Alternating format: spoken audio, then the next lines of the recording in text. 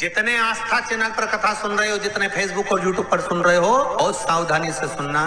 तो जिनकी यहाँ संपदा की कमी होती है वैभव की कमी होती है लक्ष्मी की कमी होती है प्रतिष्ठा की कमी होती है धन की कमी होती है उसके लिए रविवार को अगर लोटा भरकर शिव को समर्पित करा जाता है तो घर में तेज लक्ष्मी प्राप्त होती। कभी ऐसा योग लगे आपके जीवन में कि आप जिस व्यापार को आपने करा उस व्यापार में आपको फल नहीं मिला। फिर आपने व्यापार चेंज करा, फिर बदल कर देखा, फिर उस व्यापार को कर कर देखा, उसमें फल नहीं मिला। फिर आपने वापिस व्यापार को बदलने का विचार किया। तो हमारा निवेदन रहेगा, उस व्यापार को बदलने से पहले एक काम ज़रूर कर कर देखना तीन स्थान पर बेलपत्र को चढ़ा कर देखिएगा। अगर आपको लगे कि मैंने व्यापार बदल लिया, एक बार बदला।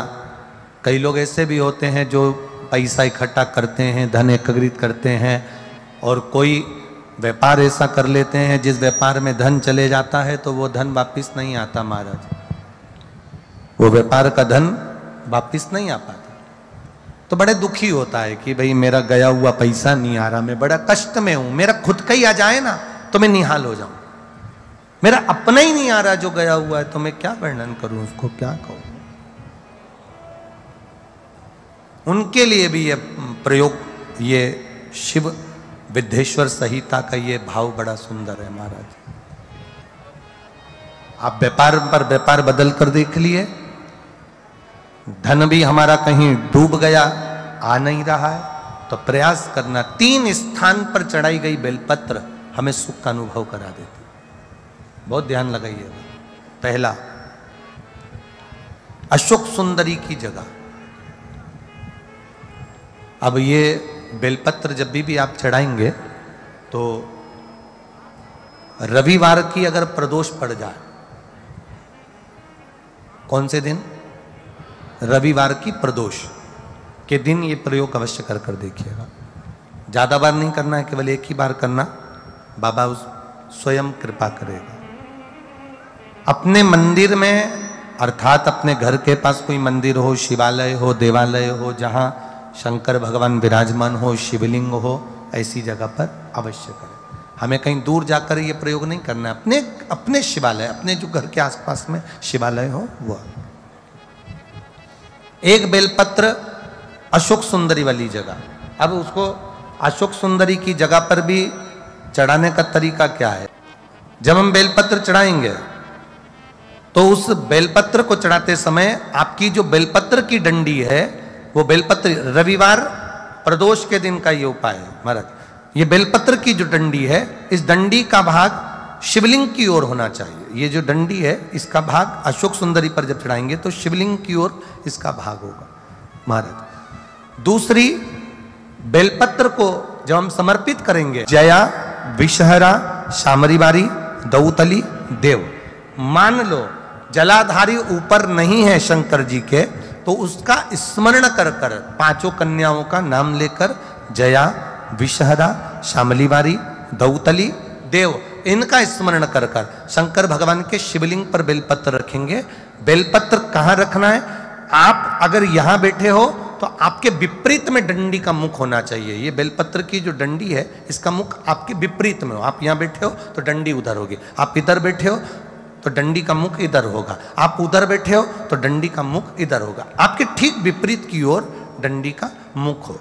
ये दो जगह बेलपत्र समर्पित करने के बाद तृतीय बेलपत्र शिवलिंग की जो जलाधारी है, जहाँ पर भगवान शंकर का शिवलिंग रखा है, वहाँ स्पर्श कराकर, केवल छुआना है, स्पर्श कराकर बेलपत्री के पेड़ के नीचे ही कोई कंकर हो, कोई शंकर हो, या कोई मिट्टी का ढेला हो, नी हो तो वहीं मिट्टी को थोड़ी सी ऊँची कर कर एक बेलपत्र बैठकर इस बेलपत्री की डंडी जड़ की ओर मतलब जो वृक्ष होता है, उस ओर इस डंडी का मुख होना चाहिए। ये तीन रविवार के प्रदोष के दिन शंकर भगवान पर चढ़ाई गई बेलपत्र से हमारा गया हुआ धन भी पुनः आने का रहता है और हमारा जो व्यापार बार बार बार बार बंद हो रहा है, शिव की कृपा से एक बार चालू तो चालू हो ही जाता है। शिव तत्व को जा और निवेदन है सब भाव से करना है। हृदय चित्त आनंद जो विषय चाहे वो शनिचरी प्रदोष हो चाहे रविवार की हो सोमवार की हो मंगल की हो बुधवार की हो गुरुवार की हो शुक्रवार की हो शनिवार की हो कोई भी वार की हो प्रदोष। प्रदोष काल में शाम का समय। सूर्य डूब रहा हो बस डूबा ही हो और उस समय पर केवल तीन दिन ऐसे रहेंगे। तीन बार ऐसे रहेंगे। तीन तिथियाँ ऐसी रहेंगी। तीन समय ऐसा रहेगा, जिस समय पर तेरे द्वारा निर्मित शूल को भी शिव धारण करेगा और जगत का कल्याण करेगा। तीन दिन, तीन तिथियाँ, तीन बार, तीन नक्षत्र, तीन घड़ी, तीन पल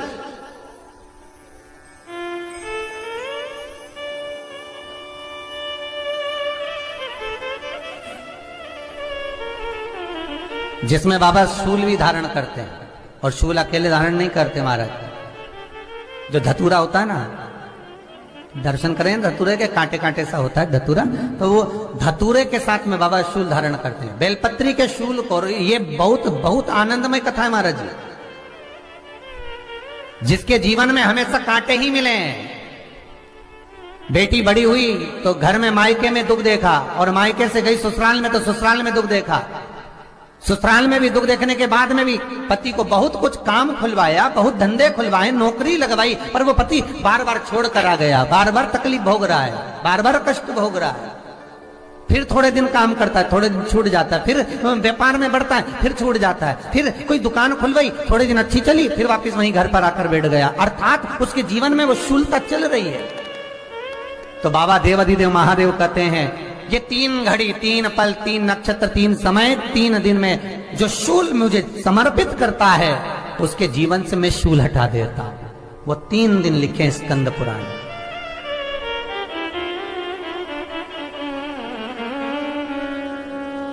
महाराज, बैसाख महीने में जो प्रदोष आती है, बैसाख के महीने में बहुत ध्यान से सुनना भाई, जो अपनी ज़िंदगी से बहुत तंग आ गए हो, परेशान हो गए हो, कष्टमय जीवन जी रहे हो, बहुत दुखी हो गए हो, उनके लिए ये स्कंद पुराण का चरित्र फिर मिले ना मिले, आप प्रेम से सुन लो। भाव पहला, बैसाख महीने की प्रदोष।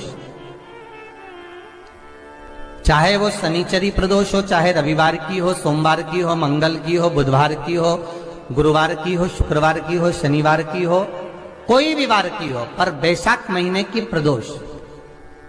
प्रदोष काल में, शाम का समय।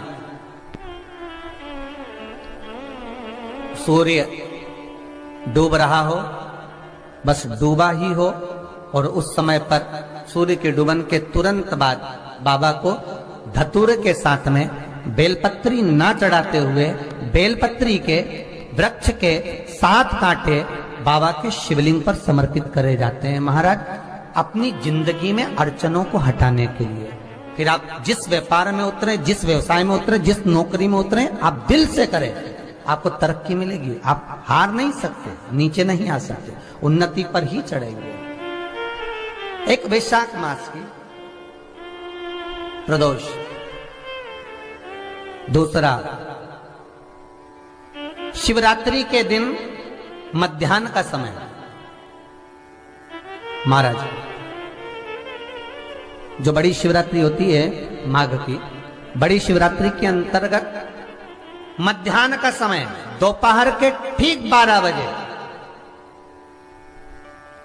चाहे फिर वो कोई भी दिन हो हमारा शिवरात्रि जिस दिन पड़ रही हो।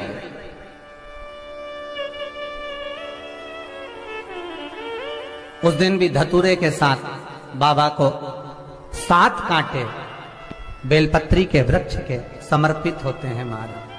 इसमें आप ये वाले जो कांटे हैं, जो शिवरात्रि के दोपहर बारह बजे वाले हैं, अगर कोई मदिरा पीने वाला हो, व्यसन में डूबने वाला हो, कोई जुआ खेलने वाला हो, कोई गलत वैश्यावृत्ति करने वाला, या अपने मार्ग से विचलित कोई व्यक्ति है, उसके लिए भी ये कांटे बहुत काम आते हैं महाराज।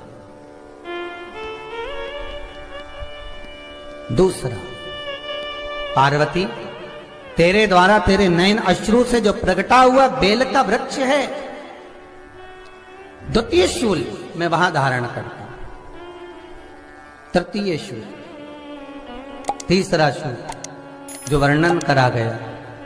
महाराज, भगवान श्रावण के महीने में, श्रावण के महीने में जो भी दूसरा सोमवार पड़े, जो भी पड़े, श्रावण के महीने का दूसरा सोमवार। आप सबको पहले भी श्रावण के महीने में जो कथा कही, उसका व्याख्यान वर्णन करा कि श्रावण का महीने का महत्व क्या है, वो भी आपको ऑनलाइन कथा में आप लोग सुन चुके हैं लाइव कथा में। श्रावण का पूरा महत्व बताया था कि श्रावण के महीने में शंकर भगवान को पूरा लेखा जोखा का भार प्रदान किया गया था। दूसरा सोमवार, श्रावण के महीने का जो दूसरा सोमवार होता है, उस दूसरे सोमवार में रात्रि के समय पर अर्थात शास्त्र अब घड़ी और पल का स्मरण करेंगे तो रात्रि के बजेंगे 10 से 12 बजे मारे 10 से 12 के बीच में। धतूरे के साथ बाबा को शूल समर्पित होता है महाराज। ये भी हमारी बांधाओं को, हमारी तकलीफों को, व्यापार व्यवसाय के लिए, नौकरी सर्विस के लिए, बहुत सारे एग्ज़ाम में आप बैठ लिए, गवर्नमेंट एग्ज़ाम के लिए बैठ लिए, नहीं हो रहा, ये तीन बार मेरे शंकर को बेलपत्री के वृक्ष के शूल समर्पित होते हैं, उसका आनंद पाना। मेरी जीजियों, दो चीज़ें बड़ा स्मरण में रखिएगा। एक बैसाख महीने में मट्टी के पात्र का जल। अभी अभी क्या चल रहा है? फागुन। अभी क्या चल रहा है? फागुन जब बैसाख का महीना आए ना,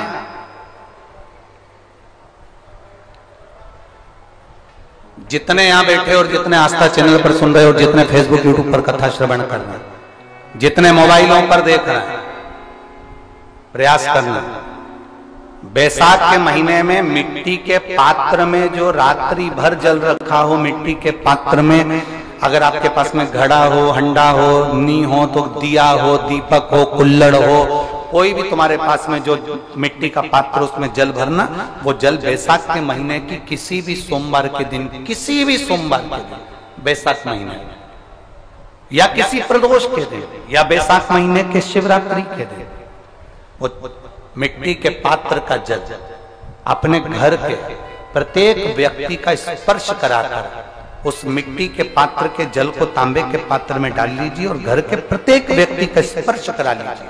और शंकर भगवान पर कुंद कैश्वर महादेव के नाम से समर्पित करिए। कुंद कैश्वर महादेव। कभी जीवन में पीछे पलट कर देखने की ज़रूरत नहीं पड़ेगी, आप उन्नति की सीढ़ी की ओर बढ़ते चले जाओगे बैसाख महीने में मट्टी के पात्र का जल भगवान शंकर को समर्पित होना चाहिए। उसका सुख हमारे जीवन को एक आनंद, फल प्रदान जैसे कहते हैं ना, कोई अच्छा मिले, ना मिले। धन मिलने से कोई भाग्यशाली नहीं होता। श्री शिवाय नमस्तुभ्यम सब बोलिए एक बार जमकर। श्री शिवाय नमस्तुभ्यम प्रैक्टिकल ज़रूर करना। कहीं सियोर वाला महाराज झूठ तो नहीं बोल रहा। शास्त्रों की बातें हमारे जीवन में हमें सुख प्रदान करें। इसलिए इस भाव का आनंद करते हुए आज की कथा को विराम देते हैं। श्री शिवाय नमस्तुभ्यम। मेरे चैनल को सब्सक्राइब करें, बेल आइकन प्रेस करें, जिससे कि आपको लेटेस्ट वीडियो की नोटिफिकेशन मिल जाएगी।